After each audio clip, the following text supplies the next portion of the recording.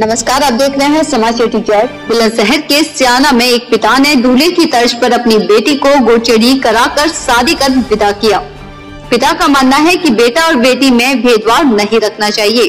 बेटी बचाओ, बेटी पढ़ाओ के नारे के बीच इस आधुनिक युग में सियाना थाना क्षेत्र में रहने वाले गोविंद चौहान ने अपनी बेटी दादा की शादी दिल्ली निवासी सनी चौहान से तय की थी। इस मुबारक समय पर एक पिता ने देश में एक नई मिसाल कायम की है। जिसमें सबसे अलग बात यह रही कि गोविंद चौहान ने रस्म व रिवाज के नाम पर एक नए अंदाज में अपने घर से नवाब फार्म हाउस तक बेटी राधा को बेटों की तर्ज पर गुड़ चढ़ी कराते हुए ले गए, जहाँ राधा का सनी चौहान के संग सभी रस्म रिवाज के साथ विवाह संपन्न कराया गया।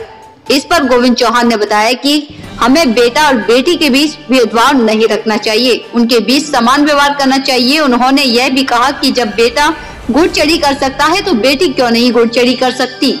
साथ ही गोपाल चौहान ने बताया कि उन्होंने अपनी बेटी दादा को बेटों से ज़्यादा अपना हक दिया है। गोपाल और उनके परिजन अपने इस नए प्रयास से खुश हैं।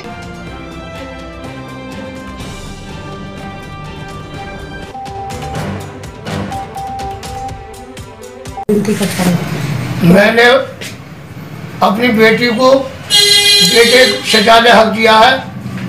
और आप लोगों का आशीर्वाद, आप लोगों का प्यार, मेरी बेटी को और सभी बेटियों को ऐसे इसी प्रकार मिले।